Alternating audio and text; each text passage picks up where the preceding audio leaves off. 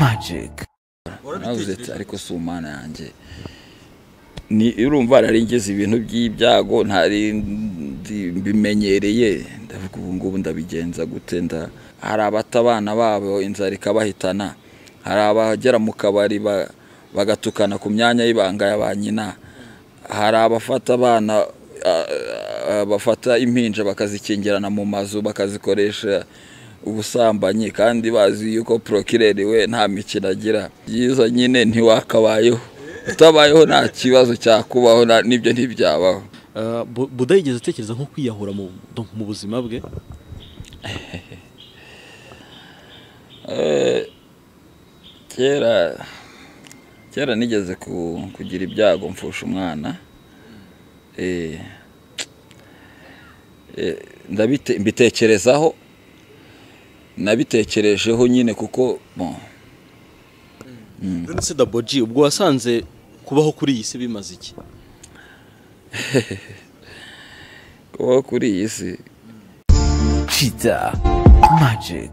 ngusuhuze kandi nkwifurize kumererwa neza wowe ureba Cheetah Magic. Nizere ko aho uherereye hose ku isi ubuzima buri kugenda fresh. Nizere ko umerewe neza. Nitwa Julius Cheetah ngo ikaze muri iki kiganiro. Nicaye kuri Sheba Hotel ndi kumwe n'umugabo muri kureba ahangaha yitwa Bulldog Kemozera. Eh, amazina menshi cyane ameze fresh? Yandaho Daboji Yeah, man. mu mazina yose bakwita ukuntu iriya zina Bulldog?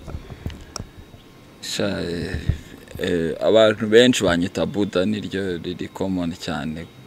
Ya. Kemozera. eh, na kimozera ariko abantu mibambwe zagiye he buriya rero ariya nama nama n'utu attribution ni nihaga nko muri uka- ukayishyira mu ndirimbo ariko atari uko ryitwaye cyangwa ryiyita tudenku ukumva abantu barari bikingiye abarwanyi. Eh, ni ni uko bivuga mu ndirimbo ariko atari izina mu busanzwe niyita ugashiduka ariko abantu bari kwise. Nyine ugasanga umuntu akwita mibambwe akwita ngo rwagakoco ariko akaba ari umuntu umwe mu bantu igihumbi tuziranye. Ubwo ni kandi wakwitaga rwagakoco. Ntabwo ntabwo ama- amazina ahita aza ariko hari abantu baba bafite utuntu nk'utwo ngutwo ya za sitana sitana yo barahari benshi ya Mm. ni umuraperi ukomeye cyane hano mu rwanda umaze igihe kitari gito wakoreye umuziki hafi imyaka cumi n'itanu. Maze na makumyabiri ushobora kujya wenda kubera igihe watangiriye wandikaga imirongo ariko itaragera mu ndirimbo ariko igihe umaze abanyarwanda bakuzi ni hafi imyaka cumi n'itanu ukora iyi rap ni umuraperi ufite album nshya yitwa chemotherapy. Album yo ubwayo ni irimo therapy. Ameze neza bulldog? Yameze neza ndashima imana nta kibazo mfite. Nta minsi ishize turi kumwe hari ku itariki ya gatanu ukwezi kwa cyenda bibiri na makumyabiri na rimwe. Eh, ni umunsi wari umunsi ukomeye wo gusezera umuvandimwe mwabanye igihe kinini muri Tough Gangs Jay Polly. Urupfu rwe rwashenguye benshi by'umwihariko haba mwebwe abahanzi haba famiye ye eh, abadamu be abana be. Ingeri zose zamukundaga cyangwa se n'izari zimuri hafi. Ni byinshi rwagusigiye. Cyane ko muri rusororo muri kumuherekeza wavuze ko uzarinda uva kuri iyi si udasobanukiwe neza cyangwa utiyumvisha uburyo akiri muri ubu buzima. Uh, ni amagambo azimije ariko avuze byinshi cyane kuri Bulldog ndetse na Jay Polly na Tough Gangs muri rusange. Ni irihe somo cyangwa urwibutso rukomeye wasigiwe n'uriya muvandimwe? Isomo isomo nakuyemo ni uko umuntu agomba guhora yiteguye ntawe ushobora kumenya aho aho bwira ageze kuko ku- nta muntu urupfu rutu- rutunguranye rurababaza.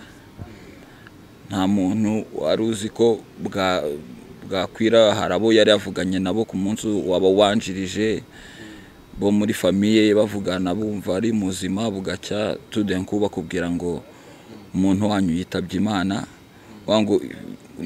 isomo ryanyigishije ni uko iyi si si iwacu nyine. Ntabwo jyewe rero nari mu gihe twabanye kuko twagendanye urugendo runini ntabwo ntabwo twajya dutekereza kuri ibyo bintu bivuga ngo ejo umwe ashobora kuva muri twe.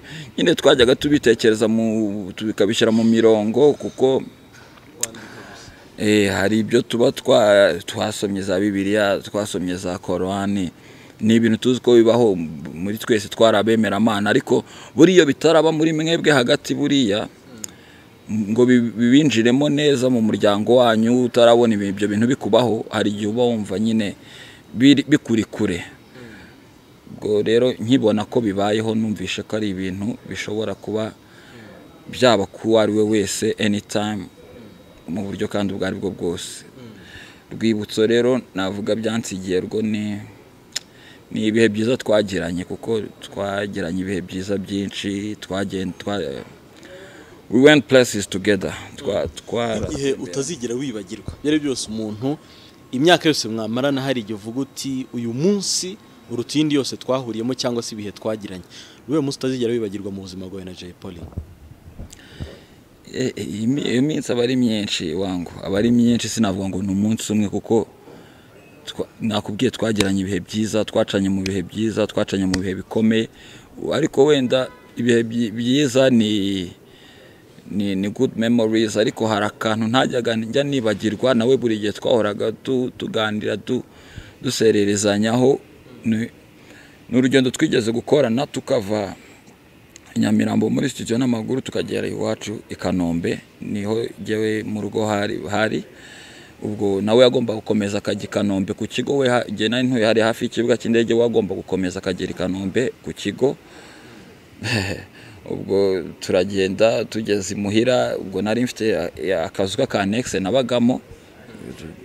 Eh, iba mu rugo nyine iwacu nkararanamo na mukuru wanjye. Ubwo muri anexe harimo akandi gatebe kameze hari intebe bitaga vie zi- zimwe bafataga imisego basesekamo gutya ziba bidakoranye. Zimwe zimbaho utereka ya misego gutya. Zegamye nyine tubaho tuba turi mu twenge nk'igitanda n'ubundi ubwo niko iyi niyo yari iri mu cyumba na yo tujya dushyiraho imyenda. Ndamubwira ati rero brother bigomba kugenda urabona igitanda dufite mu cyumba kiriho grand frere aryamyeho already. Kandi ntabwo nakureka ngo uryame ku gitanda hano ari mu rugo iwacu ngo njyewe ryame kuri iriya ntebe itariho matora cyangwa itariho imisego. Wowe iha- ihangane dore iriya ntebe tugiye gushyiraho imyenda ndakurambikiraho ibyenda byinshi wowe uryame hariya. Hanyuma njyewe ndyame ku- buriri nyine na mukuru wanjye ubwo twarayemo muri icyo cyumba turi batatu. Turira eh, twagezeho n'ubundi bwenda gucya ari nka saa saa cyenda saa kumi. Turaryamye burakeye aragiye yasubiye ku ishuri aho yigaga i kanombe. Hanyuma ariko iki gituma nyine ntabwo nakwibuka izina ry'indirimbo neza ariko twari tuvuye i nyamirambo. Twebwe twakoraga indirimbo nyinshi cyane muri kiriya gihe.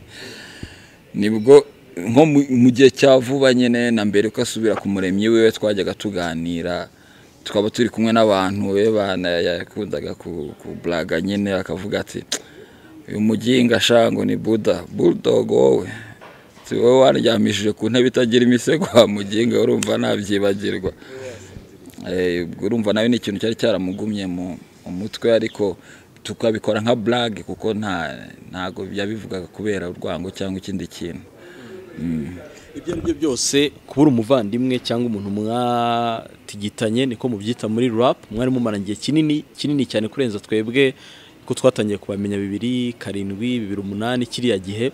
Ariko ibyo ari byo byose mwari mumaranye igihe mutegura imishinga mwari mwaragerageje hip hop mu masegonderi za setandire aho wanyuze hose wari, wa muntu wagerageje kujya muri rap. Uh, nka bulldog iyo utekereje ko muri ubu buzima byose ari kuriya birangira. Birangizwa n'urupfu waba warabayeho neza warabayeho nabi warabayeho wishimye ariko uriya birangira ni iki byigisha bulldog cyangwa definition y'u- y'ubu buzima ni iyihe? Eh, hari hari saying ivuga ngo uh, uh, life is what you make it. Ubuzima ni icyo ubukoresheje nyine. Ubwo icyo binyigisha ni uko mu gihe mfite nki- nkifite ubuzima ngomba gu- kugurabinga opportunity yose mbonye nkagerageza gukora igifite agaciro giha agaciro ubuzima bwanjye n'abantu banjye n'abafite icyo banyigiraho n'abumva ibyanjye. Bakavuga ati byibuze mu gihe akiri mu buzima dusigiye gift nk'iyi ngiyi. Ya kugira ngo wenda ariko mu byiza siritu kugira ngo bizagere n'abo bifasha wenda nko- nk'abazankomokaho cyangwa abankomokaho izo good memories izo ibyo bikorwa byiza ba- abazabigenderaho bakaba barabibonye bazavuga ati niba wahura n'umwana wanjye ejo bundi wahura n'umudamu wanjye wahura n'umuvandimwe wanjye ukambwira ati Bertrand yari runaka yari umuntu bimeze gutya na gutya byagenze gutya na gutya ni cyo ngenderaho cyane muri iki gihe bitewe n'amasomo tugenda twigishwa n'ubuzima nyine. Bertrand Malik ndayishimiye hakaza n'andi mazina ukoresha munsi nka Bulldog Buda n'ayandi. Ni umuntu benshi bamenye kubera injyana irimo ubuzima bukakaye bwo muri isi haba ku mihanda n'ahandi na byo byatumye bagukunda. Ariko hari uko twe tubona umunyamuziki cyangwa tumufata akagira uwo uko we ayobora ubuzima bwe yaba religion yaba n'ibindi agenderaho. Uwo Bulldog rero kamere ye ni iyihe ya nyayo? kamere ya nyayo rero ndi umugabo uca bugufi cyane nkunda kwicisha bugufi cyane nkubaha imana cyane eh, nkakunda abantu eh, nka- nkagira igihe cyo guhura n'abantu nkasabana nabo kuko kwiga ku bantu ni, kimwe mu bidufasha kumenya ibyo dushobora kuvugaho kuko niba turirimbira abantu tugomba kuvuga mu biri mu bantu. Icyo gihe iyo ndi kumwe n'abantu yaba tuganira yaba turi mu biki mba mfite icyo ndi kwiga ku- kuri runaka icyo nshaka kumva kugira ngo bimenye umuntu ni muntu ki eh, ibintu bijyanye nk'ibyo ngibyo. Ubuzima bu- bufata njyewe nk'isomo nyine. Kamere yanjye rero ni ukumenya kwiga kamere muntu nanone kugira ngo buri muntu njye amenye ukuntu mufata kuko abantu baremye mu buryo butandukanye. Buriya nzi ya, menya ko ahantu abantu ngezemo menya uburyo ahantu hose ahenshi ngeze nshobora kumenya uburyo ndi buhitware bitewe n'abo mpasanze n'uburyo ba- ba- bitwaye. Bulldog ni umwe mu bahanzi bamaze igihe muri uyu muziki eh, kubumaramo igihe nabwo imwe ni impamvu ndetse ubaho ubuzima bumeze nk'aho buri pirive ukuntu ugereranyije n'abandi bahanzi mubana cyangwa se n'imiterere yabo. Eh, ni iyihe shapitire y'ubuzima muri uyu muziki cyangwa mu buzima bwa, Bulldog atazigera yibagirwa. Wenda bwari bwiza cyangwa bwari bubi cya gihe cyageze ukumva wacitse intege ku mibereho yo kuri iyi si cyangwa wumva kwa kundi twita ngo byanze bon ubu nakubwira nko mu gihe cyo kuva igihe navukiye wenda kugera mu gihe na- na- natandukaniye n'ababyeyi banjye. Ntago nigeze ntago nta kibazo nigeze ngira muri ibyo bihe. Ariko mu buzima bwa bwanjye ntangiye kumenya kwikorera ubwo kwikorera ni ukuvuga ngo mbaye umunyamuziki ndi ku ishuri ndi kwiga ndicumbikiye nditunze. Ugenda uhurana n'ibintu byinshi bitandukanye urabizi. Nko mu gihe nko mu gihe cyacu dutangira hari imyaka twagezeho noneho hamera nk'aho habayeho ikintu cyo kurwanya itsinda rya tavuganga ariko ibyo gihe byari biri no mu itangazamakuru hari aba ari nk'abantu bi- bishyize hamwe hari hari udukundi icyo gihe mu miziki n'iki byose. Yani ubwo uratangiye utangiye kariyeri ibintu bigenze neza ukibona ari bwo ibintu bigiye gutumbagira noneho ni bwo batangiye kugukasa. Kandi abo bantu kubera ko ari mu- mu- muri monde yacu ya musique uko bagukasa nyine hari hari ingaruka impact bikugiraho. Ukabona ntabwo uki- uki- ukiri kuri top list y'abahanzi ntabwo ukiri gukorera good morning ntabwo uri guhamagarwa aha icyo gihe ikintu cyo kwiheba. Izo periods rero umuntu agenda azicamo ariko buriya ubuzima ni ni ups and downs bigenda bitandukana. Niba ubona umeze neza umenye ko ejo bizahinduka. Eh, nubona wishimye cyane umenye ko mu gihe cya vuba ushobora kubabara. Bishobora gufata igihe kinini wishimye ariko kwa kiranswa uko bizagenda kose hari ubwo uzagera ugahura n'ikindi kibazo gituma ubabara. Ubwo rero nuko bihora bigenda biragenda bikaba byiza bikongera biba bibi mbere yo kuba powa bikaba powa mbere yuko biba byiza nako bikaba powa mbere yuko biba bibi.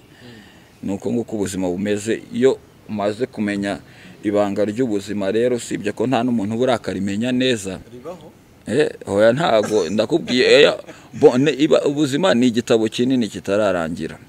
Ntabwo wagisoma ngo ukirangize ariko iyo umaze kugira ibyo umenya bikeya kuko ntago ugerageza guhora ubyiteguye. Ukavuga ati nimpura na troubles n'izi ngizi nzabyakira ahubwo nshikame igisirikare bikomeze. None se daboji ubwo wasanze kubaho kuri iyi si bimaze iki?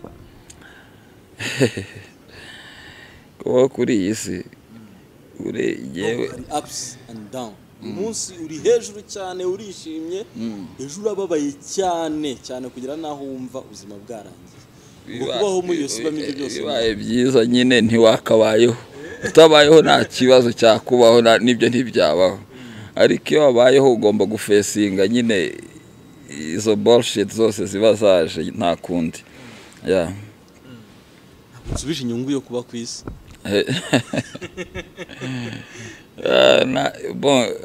Hari igihe ubona nta nyungu yabyo. Eh, wenda umuntu ubona inyungu n'uwo ameze neza ni we uriho ufite ibiceri byawe bon, ukaba umeze neza nturwaye entourage yawe wenda na yo imeze neza uwo nguwo aba abona ubuzima ari bwiza none ntabwo urumva abantu bavuga ngo ubuzima ni bwiza? Eh waba ameze neza. Ariko hari n'abakubwira ati ubuzima burashaririye bumeze nabi. Biterwa n'umuntu na situwasiyo arimo tu hari uwo ubona ko ubuzima ari bwiza akishimira ubuzima arimo ya- cyangwa yabayemo. Ya hari n'ushobora kuba hari n'ubona birutwa no kwipfira. Birutwa no kwipfira biterwa na buri muntu ku giti cye. Mm. uko hari igihe cyageze mu buzima ugahangayikira iyi game cyangwa se ukumva ko ibintu urimo cash wahembwaga cyangwa se list y'aba- y'abasani bagezweho ubona hari ukuntu umeze nk'uri out. Uh, Bu- buda yigeze atekereza nko kwiyahura mu, mu buzima bwe? Eh, kera kera nigeze ku- kugira ibyago mfusha umwana Eh, eh, mbitekerezaho nabitekerejeho nyine kuko nari ndi muri situwasiyo itari nziza. Urumva f- f- eh, ntabwo nari mpagaze neza ntekereza uburyo ibyo bintu ndi bubyitwaremo ariko buriya ni ho iyo umuntu agize ibyago ni ho ba- abantu nyine ubonera inshuti. Ndabitekerezaho. Umutima urangara urambwira ati waba ukoze ikintu cy'ububwa bukomeye cyane? Umuryango umwana arapfuye. Icyo ni ikibazo cya mbere n'umuryango wawe nawe ugiye kuwushyira mu ni ukuvuga ngo ni ibibazo by'ibihekane. Mm, ibibazo by'uruhererekane ugiye guteza. Bwa- bwabyo ni we nyirabayazana ni we nyir'umwana. Ni we wagombye gutekinga care of that situation. None aho kugira ngo ukemure situation ni wowe ugiye kuyi- kuyigira bega kurushaho. Kuko umwana gupfa buriya umwana apfuye ari mutoya yari umwana mutoya cyane w'uruhinja ntabwo bibabaza cyane kugeza ku rwego rw'umuntu mukuru apfuyemo. Kuko umwana mutoya nta bantu aba aziranye nabo nta bantu baba bamuzi. Ubundi igituma umuntu mukuru yapfuye eh, bibabaza hari ibyo aba atarangije. Urumva? Hari abo ashobora kuba asize muri shida runaka. Uwo mwana nta muntu asize muri shida nta mafaranga yakoreshejweho. Umuntu yicuza avuga ati amafaranga namushyizeho runaka ni iki byose? Uwo ni umwana mutoya ntabwo byakagombye kuba asaga cyangwa ngo bibe ikibazo kinini. Umuntu mukuru rero cyo numvaga jyewe nuko nari kuba nkoze nk'igikorwa cy'ubugwari.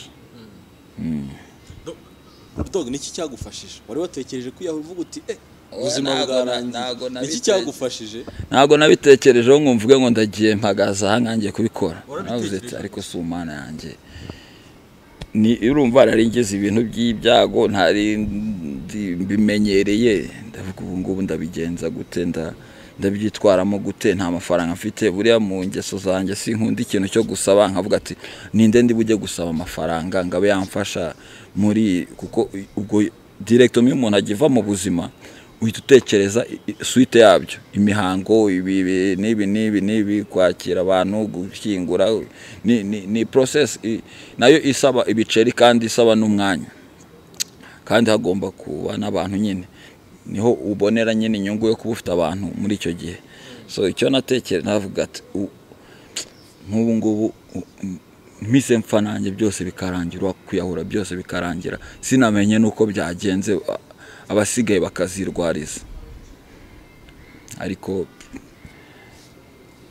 nyine ndi ku mutima nari ubwo ndyamye ku buriri nyine ndi kubitekerezaho gutyo ndavuga ati ni bwo naba nkoze igikorwa cy'ubugwari bw'ubugwari bwinshi cyane kuruta ibindi byose wenda naba narigeze nakorana mbere y'igihe so gutekereza icyo ngicyo rero cy'ubugwari ko waba ugikoze ahubwo aho kugira ngo ibyo wakoze byiza bahite bisibwa nuko ukoze icyo gikorwa cyonyine kimwe cy'ubugwari uhita uvuga reka mbyorere ndwane na byo n'ubundi.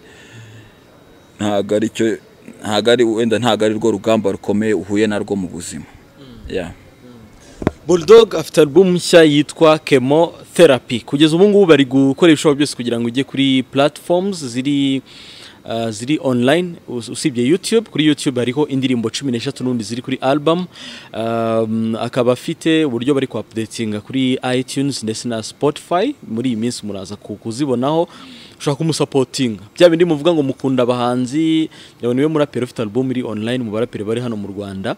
Ni album nshya muri uyu mwaka. Wagenda kuri YouTube channel ye ukandika Bulldog Official ugahita ubona album.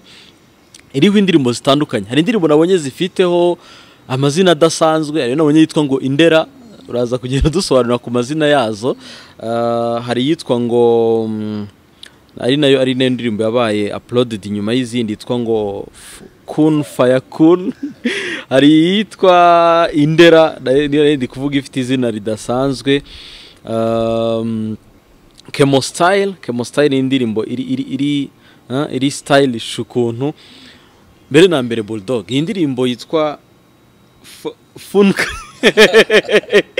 Fun Fa- Fu- Kun Fire Kun iyi ndirimbo ni ibiki washatse kuririmba isobanuye iki? Eh, kun fa kun mu kinyarwanda ni nko kuvuga ngo bibuko. Bibuko nyine bigende guri bibuko. Cyangwa se so be it mu cyongereza. Uwiteka yaravuze ngo bibe bi- bibuko bibuko nyine. Mm. Ni na cyo bishatse kuvuga. So ukuntu yo igiye rero n'ukuntu ikoze ni indirimbo nta chorus ifite ni nk'igitero gihurutuye kurinda irangira mvugamo story y'ukuntu amateka atangira muri bibiliya eh, ku buzima bwa Adamu na Eva nkamanuka nkagera kuri Aburahamu nkagenda nkagera kuri Kristu nkakomeza nkagera kuri Buda nkaba mu Bushinwa nkagenda nkagera mu Bayisilamu nkagenda nkagera ku buryo ukuntu ubuzima bumeze. Shida ukuntu uko none nkarangiza nkuvuga ati uko ibintu bibona niko nanjye mbibona. Ntacyo nashyizeho nta n'icyo nagabanyijeho byose. Uko tubibona ni imipango nyine y'umuremyi. Uko bibona nanjye niko mbibona. Indera waririmbye rero. Ni karayesi indera mba mvugamo eh, nabwira ngo niga niba crazy uzajya n'indera snitch umugambanye n'aba crazy nawe bamujyana indera puta puta ni nko kuvuga ngo indaya niba crazy bajyana indera n'undi wese usara bamujyana indera wese ugwa ku ijambo ariko ribi. Eh, oya na bon hanyuma twajya deep muri muri mu bitero tugasanga ni nko kuvuga ngo ukavuga ukuntu abantu batandukiriye ukavuga ubusazi bw'abantu nyine abo ngabo bagomba kujya indera. Hari abata abana babo inzara ikabahitana. Hari abagera mu kabari ba- bagatukana ku myanya y'ibanga ya ba nyina.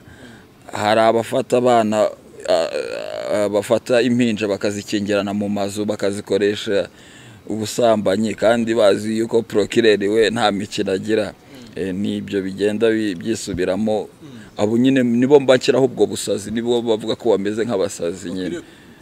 Eh, abo nibo bakwiriye kujyanwa mu basazi umuntu yumvishe neza iyi album uh, biragoye ko indirimbo imwe wayumva mu nshuro ziri munsi y'eshatu ngo wumve neza message cyangwa wumve touch y'umwanditsi mu ndirimbo cyane ko ubwanditsi bwawe bw'indirimbo buba bumeze nk'imivugo cyangwa gusiga ni izihe nsanganyamatsiko z'ingenzi zikubiye muri album chemotherapy ya bulldog.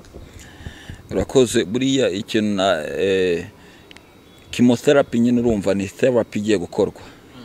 Igiye gukorwa mu- eh, ni nko ni nk'ubu nabyita ngo ikira. Niba ari nk'ubugorozi. Eh, therapy buriya ni njye mba numva ni nk'ubu- nk'ubugorozi. Ku bugorozi nyine waba mu mutwe byaba mu ki? Nko gusubiza umu eh, eh, gusubiza ingingo mu mwanya wazo. Eh, so ubwo rero ni nko kuvuga ni ingingo mu mwanya wazo ngo nsubize rap mu myanya wayo rap school indirimbo zero nyinshi ni school. eh, rap school nyisubize mu mwanya wayo. Uhumuriza abantu ibitekerezo byabo byaba byari byaratandukiriye. Wenda kubera turi muri corona turi mu bihe bigoye wahumurize ibitekerezo cyangwa imitumi umutima usubire mu mwanya wayo niyo ntuza ya niyo ni nka- ni nkayo nsanganyamatsiko urebye cyane ya album. Ni gukebura urubyiruko mu buzima turimo uh, yaba bishora mu busambanyi yaba bishora mu bintu byose bidasobanutse cyane ko abenshi mu rubyiruko babyishoramo bazi neza ingaruka bazi na porokirere uko bizagenda. Niba utarumva iyi album biroroshye cyane mu gihe itaragera kuri Deezer itaragera kuri za Spotify na iTunes biroroshye cyane niba ukunda Bulldog. Um, ngenda kuri youtube channel yitwa bulldog official. Ariko by'umwihariko nafashe uh, link iriho iyi album yose na, na nafashe iriho ku buryo uplayinga guhera kuri Fire Kun wumve iyitwa ku isonga ari kumwe na Fireman wumve iyitwa Indera wumve iyitwa Super Kemo wumve iyitwa King Salomo yari arimo na wa mukobwa witwa Linda Montez harimo umwana we washimiye. Hari iyitwa kabuhariwe uri kumwe na Green P ndetse na Pifla hari iyitwa Pay Attention hari iyitwa Street Nigga hari iyitwa ka Kaburini. Kaburini ni kaburini ni nko kuvuga ngo mwirimbi nyine kaburini kaburi.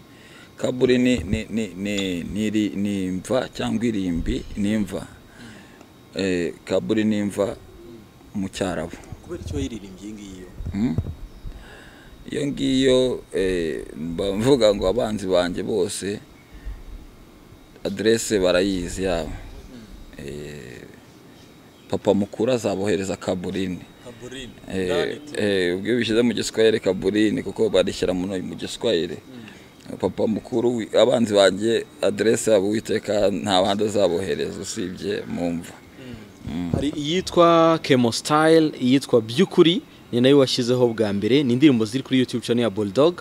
Biragusaba ko ufata umwanya ah, ndabona yose hamwe itarengeje iminota nka mirongo ine wumva indirimbo imwe ku yindi nk'umuntu ugenda mu modoka ufite nk'urugendo ushobora guplayinga ukumva indirimbo imwe igasubiramo cyangwa igasubiza inyuma kugira ngo byumve flash. Ah, hanyuma Bulldog iyi album ah, nabonye ifata ku mavuta avuga ko we ari kwigurisha igihumbi cy'idolari wowe ugomba gucuruza. Iyi minsi mike album ya Bulldog iri kugurishwa hehe umuntu uyikeneye cyangwa umuntu ukeneye kugusapotinga ni gute yabikora kugeza amagingo aya ngaya turi turi gukora uburyo twayishyira nko kuri ubwo mu gihe biri gukorwa bitararangira umuntu uyikeneye mu buryo buri bwa CD ashobora kunyandikira kuri Instagram yanjye. Instagram ni ebyiri barakoresha iyi ya barakoresha ya Kimozera.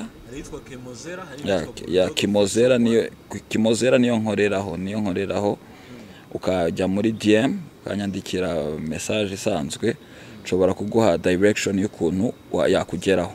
Uyishaka nko kuri CD kugira ngo ujye uyikina nko mu modoka kwa. Hanyuma abandi bayishaka ku yandi ma platforms atandukanye streaming imiziki wabibasobanuriye vuba cyane ntago bitinda. Hagiye habamo ampeshuma nke- nkeya zitubuza za- kugira ngo ibe yageraho kare ariko ubu ngubu twabyirukansemo cyane mu gihe cya vuba cyane birakunda nzabibamenyesha ntabwo tu.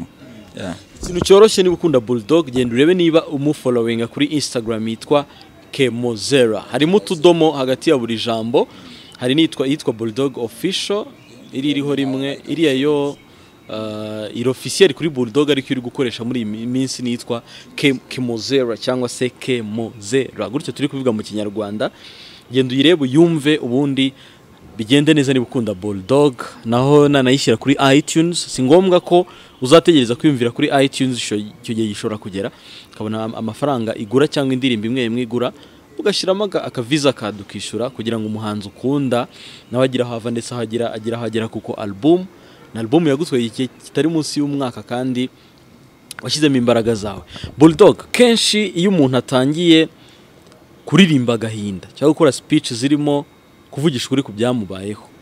Bitewe n'uko benshi muri iyi si ngira ngo ntawe udatinya urupfu cyangwa ntawe udatinya gupfa iyo babona umuntu atangiye kujya avuga cyane ariko agahinda k'isi baravuga bati buriya nawe disi agiye kwigendera. Nta muntu wigeze ubona byandika nko muri komanteri. Oya nta ntago nta ariko muri album ntago mvugamo ibyo by'agahinda kuko harimo ubuzima waririmbye ubuzima bukomeye nk'uko mwatangiye old school tough gangs bon izo message zo ntazo nigeze mbona kuko urupfu eh, ahubwo ni ugukonsora gukonsora gukomfotinga abantu bafite ibibazo ukambwira ati eh, hari imana hari amahirwe y'ubuzima bundi hari hari uko ushobora kwa overcoming ibyo bibazo byawe ukaba wagera ahandi hantu ni byo birimo cyane. Ahubwo bitewe n'urupfu rwa ru- rwabayeho byatumye abantu bahumuka cyane wenda mu bakunda imiziki. Baravuga ati man those niggas have done something big so tubahe tribute yabo cyangwa se tu give him the the flower flowers bakiriho. Tuba- tubabwire ko barenze cyangwa se tu, tubahereze respect yabo cyangwa se credit zabo bakiriho ni byo biba ari byiza buriya. Abenshi ni byo nizo message bagiye bavuga niki ariko byose ni imipango y'umuremyi n'ubundi. Ni ikihe kintu reka ndeka kigira kimwe tubigire bibiri cyangwa bitatu ni ibihe bintu bitatu bitera ubwoba bulldog. Kwa kundi uhangayika ukavuga uti eh point iyi n'iyi n'iyi n'iyi. Njyewe ikintu cya mbere bitera ubwoba. Ikintu cya mbere kintera ubwoba nyine ni ukuba numva ndi mu nzira itariyo ndi kugomera umuremyi. Eh, kuko ku- numva ko ndamutse nguye mu byaha ni ikintu cya paserma ko byababaza babaza nanjye ku giti cyanjye kuko nemera ko after this life there is another life byababaza na entourage yawe kumva ko wenda wa- wa- wapfuye utari mu murongo w'imana cyangwa w'ukuri. Icyo ni kimwe. Ikindi wenda nshobora gutekereza mu bimbabaza ni ni ukuba nabona abana banjye ba- eh, bintera ubwoba ku- ku- kuba wa- wa- wa- watekereza nko kubona urubyaro rwawe abagukomokaho ba- bamera nabi batameze neza. Eh, afite abana bangahe? Njyewe mfite abana babiri. Abana babiri. Hanyuma kurongora no kubyara. Ni iki byamariye ubuzima bwawe? Ubuzima wari usanzwe bw'umuziki n'ubuzima muri rusange. Eh, rero ibijyanye n'ubuzima bwanjye buri gutyo bwo sinjya biganiraho cyane. Mm. ariko sofa mu byo tuzi ni uko iyo ufite urubyaro iki ni rwo ngenderaho cyane. Iyo ufite urubyaro urahumuka mu mutwe urumva kuko ya ya ya ya narcis- eh, iri muri wowe. Narcissisme ni ibintu byo kwikunda ukumva ni wowe priorite ukumva nyine ibyiza byose ni wowe ubyishyiraho. Iyo rero iyo umuntu amaze kugira abamukomokaho si wenda iyo ubakunda hari umuntu ushobora kubyara abana be ntabakunde cyangwa akabata nta- ntajye no kumenya suivi y'ukuntu bakura cyangwa ukuntu bameze. Wowe wowe ntabwo wirebaho cyane bwa mbere. Eh, ntabwo ari we priorite cyane. Priorite aba ari ba bandi bawe. So byatumye rero ngira uwo mutima wo kumva ko atari njyewe wa mbere. Eh, uwa mbere ari ari famiye yanjye abana banjye aba n'abandi bose. Hanyuma bigatuma nyine numva ko ngomba kubyuka nka bikagukuramo ubunebwe kumva ko ugomba gukora kuko iyo ufite nahoze mbiganiraho n'umuhungu hano. Ku- kubyara umuntu. Niwe ni wowe umuzanye ku isi ntabwo aba yarabigusabye nta kindi aba na- na- eh, na- eh, nawe ntu- ntuba wabimusabye. Ntuba ubizi ko abishaka. So uba ufite ni wowe responsabilite ziba ziri ku mutwe wowe se wowe nyina. Zo kumenya ngo ya- yariye yameze gute yagize ikibazo. Burya niyo umwana yakora ikosa ari umwana. Ntabwo uba ugomba kumu kumubleminga cyane cyangwa ngo mu- mu- mu vi- victimize cyane kuko ni wowe nyirabayazana mon frere ntabwo ntabwo yaje ntabwo wabimusabye ngo aze ni wowe wamuzanye ubwo ugomba gupevera ukamumenya ngo ndamumenye ndamukurikirana ibintu byose.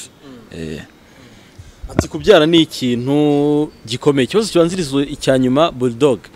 Umwaka ushize wumvikanye uvuga ko ubuzima bwose wabayemo butari bwiza cyangwa budasobanutse ubushyize ku ruhande ubuzima ari religion wakiriye agakiza.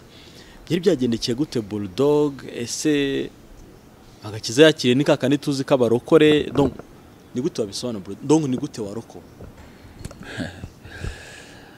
eh, bon ngewe mu mikurire yanjye cyangwa mu buzima bwanjye n'ubundi nakuze nakuriye mu miryango isenga cyane abantu bakunda imana hamwe uba warakorewe imigenzo yose ya, gikristu kugira ngo nyine urabizi famiye za gikristu ukuntu zimera. Niho navukiye muri gaturika nkomereza aho ngaho amasakaramentu yose ndayahabwa. Nahawe religiyo kuva nkiri umwana mutoya cyane ni ibintu nabanye na byo kuva nkiri umwana. Urumva buriya ufite base ni ibintu ukurana na byo ku buryo niyo utandukiriye uba ukibyibuka ko ufite ya base wahawe yuko kuko ushobora kwicara hano wenda uribana ufite uburyo ubaho cyangwa ahandi uba. Ariko wagera iwanyu ujye nko kubasura ugasanga nujya kurya ntabwo uri bukore ku isahane utabanje gusenga kuko niko babyigishijwe. Kongera ukibuka ko hari ibintu hari, umuco wata- watatiriye. So rero urumva jyewe kiriya gihe njya kubitangaza ni igihe nari maze nk'undi mwaka umwe yari nko muri bibiri na cumi n'umunani ni bwo natangiye gutekereza gutekereza ku, kuzatira imana cyane kuko buriya ubuzima butarimo imana ntabwo buba bufite agaciro. Nicyo namaze kubona. Mbigiyemo cyane mbona biri kumpira mpinduka nkazumva mu mubiri wanjye mu mibereho yanjye nkazibona ahantu hose. So nkomerezaho nyine icyo ngewe mba nshaka ni ukuba close cyangwa hafi y'imana. Kuba hafi y'imana si ukujya kuba mu ijuru ni ugushyira imana mu, mirimo yawe ya buri gihe. Niba ukoze album usaba imana uvuga ati nyagasani album yanjye yiha umugisha toping igire chat ngire icyo nzayikuramo. Niba ugiye kubaka ugasaba imana ko ariyo izakubakira kugira ngo urugo rwawe ruzagire umugisha ibintu nk'ibyo ngibyo. So ni bwo buzima rero numvishe nshaka apana kwiringira imbaraga zawe cyangwa imbaraga z'abantu kuko apuretu ntabwo wakwizera umumortere nkawe ngo wumve ko hari icyo azakugezaho kirenze icyo imana yakugezaho kuko ngewe ndi umwemeramana nuko mbifata. Filozofi y'ubuzima bwa bulldog rero ni ya yindi ituma ukomeza kuramba ukomeza kuba mu murongo donc wifuza nta rindi banga ribiri inyuma. Kubaha imana ni bwo bwenge kandi kuva mu byaha niko kujijuka. Kandi bakakubwira ngo nta mahoro y'umunyabyaha. Yeah. nta mahoro y'umunyabyaha niba ubaho mu byaha. Ntuzigere utegereza iterambere cyangwa se ntuzigere utegereza ko ubuzima bwawe buzaba bwiza nta ruhare wabigizemo. Ubona uvuga ngo iyi si rero yakwigishije iki nk'isomo ry'ubuzima cyangwa ry'uyu munsi dutahana bulldog. We are not promised tomorrow. Eh, ntago dusezeranyijwe ibya- iby'ejo. Weho muri icyo gihe cyawe uwo mwanya uba uri eh, wumva yuko anytime ushobora gusubira ku muremyi wawe urwane no kuba wakora ibyiza bizaguherekeza muri rwa rugendo rwa after life Eh, na- niyo kaminuza ya mbere. Ati niyo kaminuza ya mbere ni byo koko bulldog? Ni byinshi yanyuzemo uyu munsi wenda yakabaye atari mu buzima. Ni byinshi wowe uri kureba iki kiganiro wanyuzemo wakabaye atari mu buzima. Ni byinshi abavandimwe cyangwa famiye bagiye banyuramo uyu munsi bakaba bakiri muri ubu buzima twahuye na covid yatwaye imiryango hari abagiye ba- babura ubuzima muri iki gihe ariko niba ukiriho uyu ni umwanya mwiza wo kubishimira imana. Ni umwanya wo kwegera imana byo kuvuga ngo imana yara- yaradutereranye ntiyagutereranye kuko ubasha no kubivuga hari abandi bavuye muri ubu buzima. Nibyo rero bulldog yari ari kubabwira byinshi bikubiye mu buzima buri muri album ye yaririmbye. Ibigamije kugira ngo tubeho mu isi dusobanukirwa ubuzima tubamo kandi tubemo turi ab'ingirakamaro no kubera umumaro Eh, ngira ngo ni cyo kintu tubereyeho kuri iyi si. Ndabeshya bulldog. Urabivuze nyine. Kuba ingirakamaro n'umumaro bulldog nakubajije ibibazo byinshi ariko uko byagenda kose nk'umuntu ufite album um, mbere yuko nguha umwanya kugira icyo ubwira abafana guha umwanya mbaze ikibazo kimwe wifuza icyo ari cyo cyose. Wowe nkubaze se? wowe wemera imana se? Mu buhe buryo? Imirimo- imana mu myemerere yanjye eh, y'idini yiza nyuma kuko idini rya mbere ni roho yanjye cyangwa umutima wanjye. Ni byiza uzabyigisha n'abazagukomokaho. Bulldog gira icyo ubwira umukunzi wawe ahari ku isi hose cyangwa se umuntu uri kureba iki kiganiro. Eh, abakunzi ba music yanjye. Uwo ari we wese umuntu wese unkunda unyishimira imana ibane nawe. Eh, ku- kugira ngo umenye neza umenye ibitekerezo byanjye cyangwa imitekerereze yanjye ni ntabwo wayimenya gutya mu kiganiro cy'iminota mikeya gutya. Ariko wumvishe album yanjye ya chemotherapy ushobora kumenya ngo mu mutwe wanjye biba biri kugenda gute? Eh, ni ibyo ngibyo biba biri gucamo kuko niba album ari indirimbo cumi n'eshatu mba nafashe umwanya wo kwandika ibyo bitekerezo byanjye nkabishyira ku rupapuro nkabi- nkabisangiza abantu. Naho ngaho yamenyera namwifuriza rero gushaka chemotherapy akayumva. Rero kubera ko zose nazanditse ndishyizeho umutima ntago ntago nakubwira ngo ni iyi ngiyi. Mm. mitemo iyo uduhaho verse? Mm? urabona eh, ntago zose ndazifata mu mutwe cyane ariko hitamo numve niba ndi kemo eh, kimo style. Eh? Bango eh ngo shara kuba pump boss bari muri game. Kumaniga ko kumaniga shiri kofi imbere y'amadem. Kumaniga afata umwanya kumva Eminem iyo nzira nisabiza bageza kuri fame. Is never is a uh, is never oh ntago ndayifata neza na shaka indi ashaka indi indera ndera ngo eh indera iri kuza cyangwa bite niga indera niga irimo fireman. Ku isonga Eh, ku isonga buriya iri no mu bon nari nakubeshya iri mu zo nkunda cyane kubera ko mvugamo ubuzima bwanjye ivuga ngo mbere ya big bang mbere yuko habiturika mbere yuko inyenyeri izuba n'ukwezi bimurika mbere y'ibiguruka hano ku butaka katarakoka byari byanditse ko nzamanuka kuza kwanjye si impanuka jet najemo yururuka byasabye mama kuvunika. Abaganga bagakora ibishoboka baguma kumusaba gusunika. Saa yine z'amanywa mu bitaro by'ababyeyi CHK Ojik Mosabe King Geoffrey ni bwo yaje gusohoka bamuragiza uwiteka mu nzira z'agaturika bamusasira umukeka bamuganiriza amateka ayafata quickly. Ibihe birahita arakura babiga abyara rugira amutura imana n'intwari za afurika mu mirongo yo mu mpeduka iyo track yamugize public figure abyutsa amaniga yose. Ikibirita kibyumva ati nanjye ntunsiga. Tg buruziga tg buruziga ibintu nk'ibyo ngibyo. Ku isonga ni indirimbo bulldog iri kuri album chemotherapy afatanyije na fireman babanye igihe kinini muri tough gangs. Nakunze ninjiye muri ntuze turi gusoza ikiganiro numva numva nshaka aka, verse ariko ka kera. Indirimbo yitwa raporo urayibukaho aka- akantu gatoya. Eh, raporo eh, uko dusa aho inyuma bitandukanye n'uko dusa mu mitima. Ye ni na yo mpamvu. Nkoze raporo z'ibyo mbona mbere yuko mva mu buzima. Ye ngo cya gisiga cy'urwara rurerure kizipfumura inda cyisanzure ijisho sindwanire impu- n'abakannyi notorious imwe mu ngegera zizwi sinshaka umutuzo jye nshaka akaduruvayo. Suck like them sushi. Ntunshingeho ntunzi ibikuruzi birakuruzi. Rubanza murumve umukire umukene umugore cyangwa umugabo cana amarembare. Murota mwigwizaho ubavuze muti zibaho. Mwirengagije twese ari umudugudu duhurira.